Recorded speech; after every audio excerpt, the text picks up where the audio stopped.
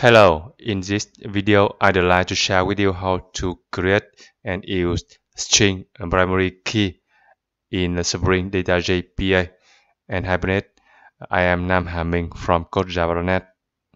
So, uh, why using a string primary key in the database table or why using a string ID field in an entity class?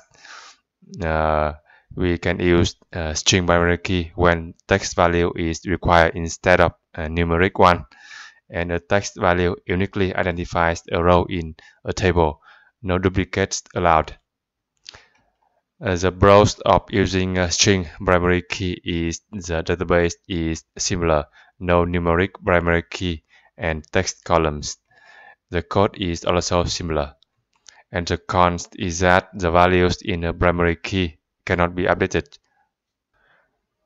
Okay, now let me show you code example.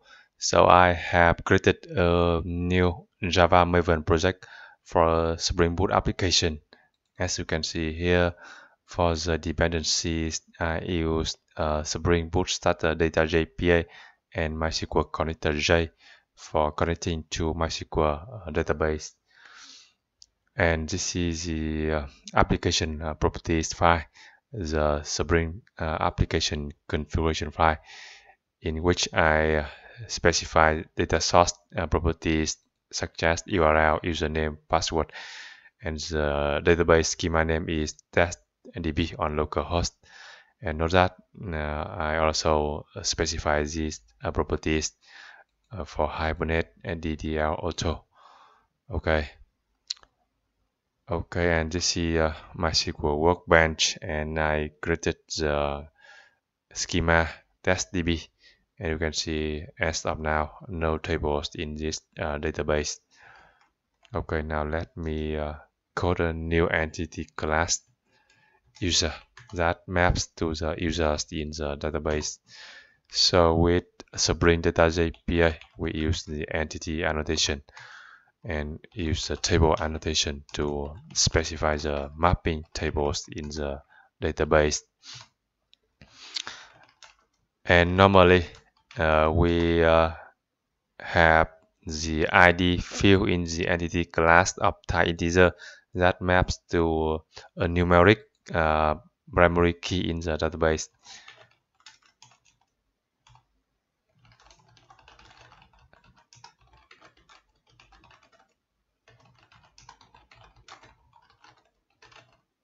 Okay so we declare some properties for the user entity class and normally we use the id annotation and generated value annotation like this uh, for the id field of type integer. Like this you see.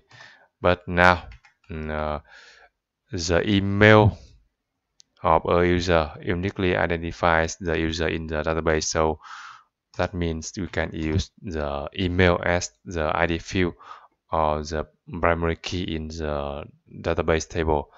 So we can delete the id field here and we specify the id annotation for the email field. And you can see the type is a string and then we can specify the column annotation to uh, specify some uh, properties for the text column. Uh, such as the length is about 50 characters maximum length and the field name. We also use a column annotation to specify that. It should not be now here. Nullable equal false and the maximum length is um, 60 characters for example. Okay so for id field of type string that maps to a string uh, primary key in the database we just use the id annotation and column annotation. If we want to uh, specify some additional properties we don't use the uh, generated value annotation because the type of the field is uh, string not integer okay and then I generate getters and setters for other fields. Okay. Okay and then I create a new interface for repository user repository. And we extend uh, repository and the type of the entity is user and now the type of the id field is uh, string. You see user and string. Is not integer as usual. Okay and then I code a new test class. User repository test. And I use some annotations for data JPA test auto configure database test database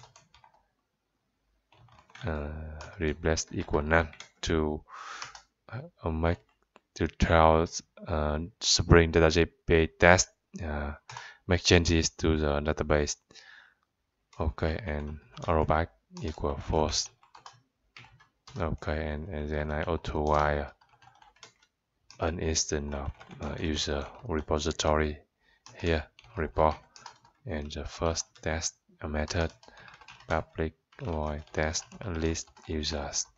The method is empty now. So now I run, run this test method. Uh, so Hibernate uh, will create the database table users according to the um, entity class here okay so run this uh, test method.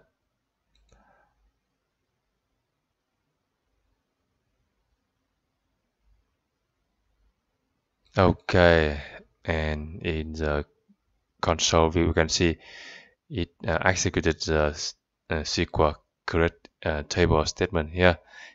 Create the users table. Okay now we can verify in MySQL Workbench here users table columns email enabled and name. Right click on the table.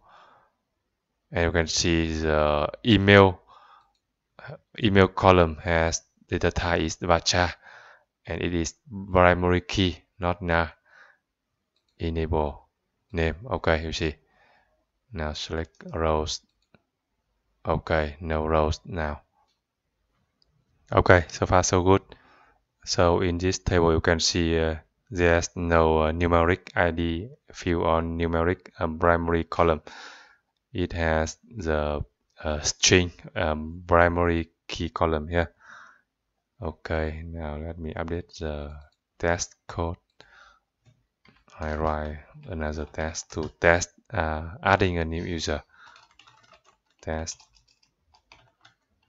add user and because in the entity class it has the string id field uh, the values are not uh, auto generated so we need to specify the value for the id field explicitly here new user equal new user.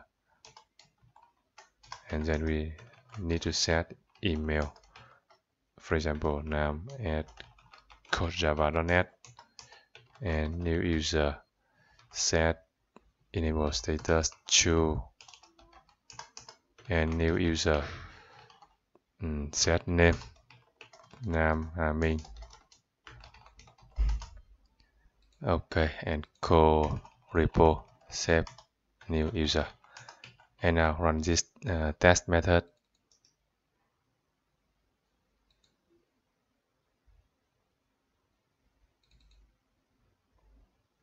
Okay, successful, and you can see it executed the SQL uh, insert uh, into users table here. Now let me check in the users table here. You can see a new row inserted with the value for email enabled and name here. Okay, so far so good. Now let me update the test list users method here repo file. Or users users for each. We print the details of uh, each user. Okay and in the user entity class we uh, override the toString method to print the details okay and now run this test list users method.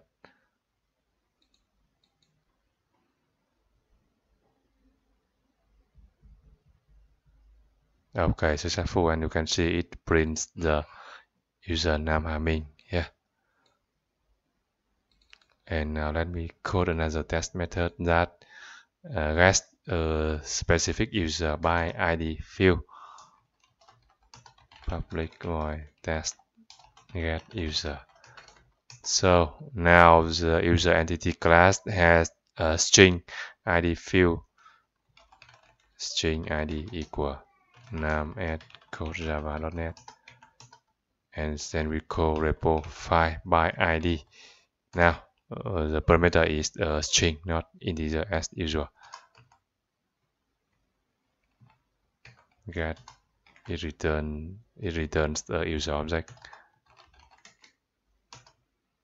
print user. Okay and run.